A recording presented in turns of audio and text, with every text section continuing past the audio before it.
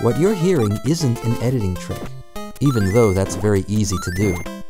It's a bug in Super Mario Bros. 2 that lets you play the main theme from Super Mario Bros. 1 in the game. This music appears in Super Mario Bros. 2 when you enter Subspace, an area of the game you access by throwing a potion and entering the door that it makes, where you can get coins, mushrooms, and if you're lucky, a warp zone. The music only exists in that area. So how did I get it to play here? Let me show you. It works in almost any area of the game. The only thing you need to have is 5 cherries and a potion. In some places you'll likely have to carry the potion around to make it work. But one of the easiest places to do this trick is in stage 1-3. First, get your 4 cherries and get your potion ready. When you get the 5th cherry, a Starman appears. Throw the potion down, get the Starman, and go in the door. When you go in the door, the music will change, even though you're still invincible. Let the invincibility almost run out. Go through the door again, while still invincible, and when the invincibility runs out, the music will switch over to the subspace music, which is the same theme as Super Mario Bros. 1. There are a few things to notice here. First, the music runs longer than the time that you are in subspace. That means part of this music will never be heard and trapped in the game forever until you do this trick. The other thing is that in Super Mario Bros. 2, when you pause the game, the bass line of the music plays while the rest is muted. But in Subspace, you can't pause the game. That means there's yet another version of the music hiding out that you may have never heard before.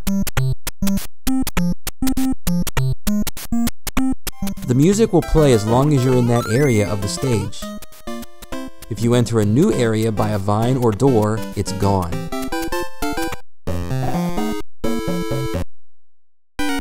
Same if you lose a life.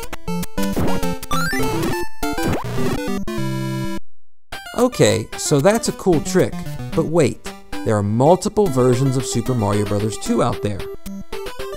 So do they work on all of them? Let's take a look. Let's try Doki Doki Panic.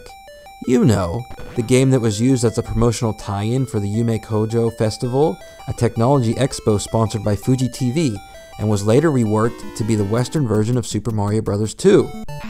Well, it works in this game, but the subspace music is not the same.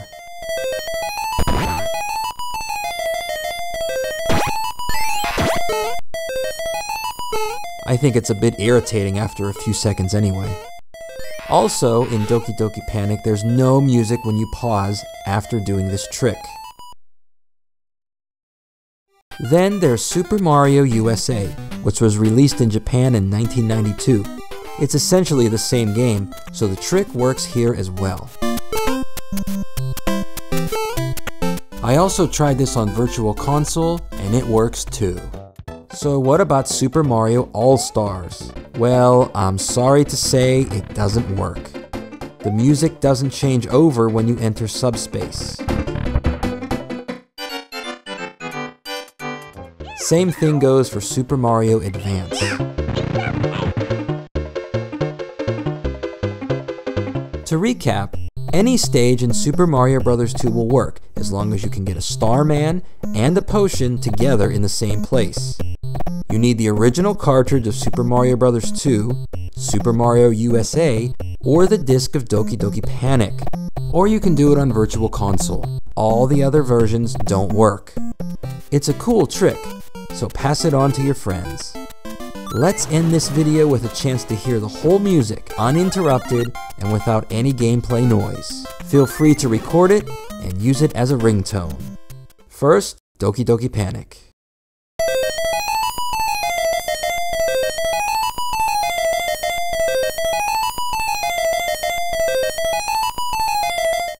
Now here's Super Mario Bros. 2.